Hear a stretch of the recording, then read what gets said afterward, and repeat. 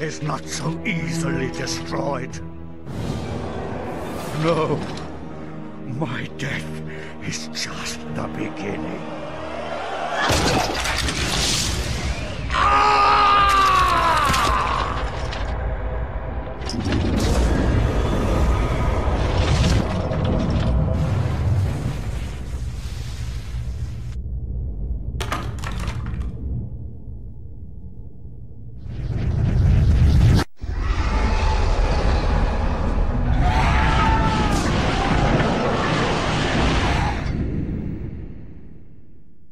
What have I done?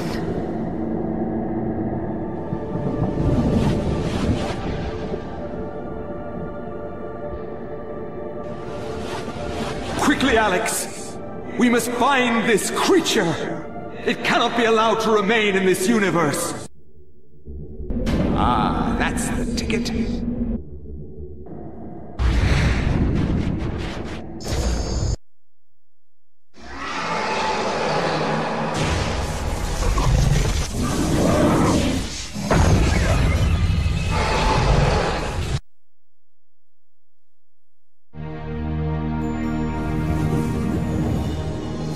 It is finally over, my dear.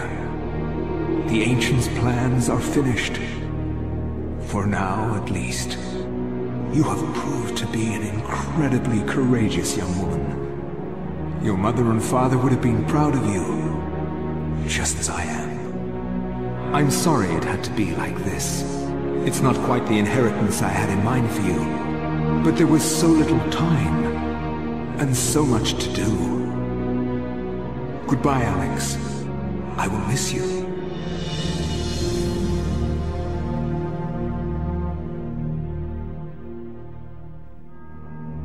Where emptiness had been, new knowledge now seeped inside.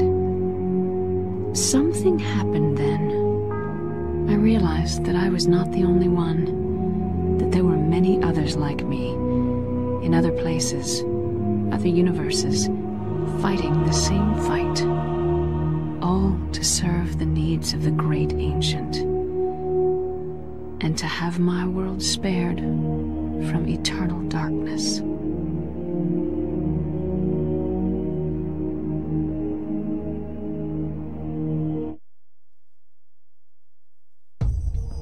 And so it comes to pass.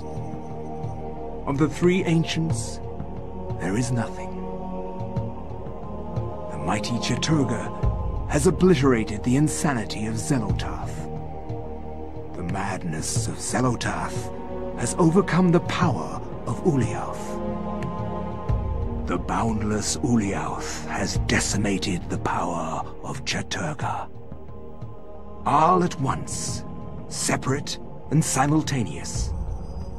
For the universe is made of many time streams, many possibilities, all in harmonious synchronicity.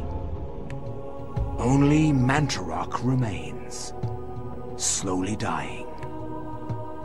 Mantorok, keeper, overseer, warden of ancients, chaos, an entity trapped between the veils of reality and the enchanted stakes that impale its flesh.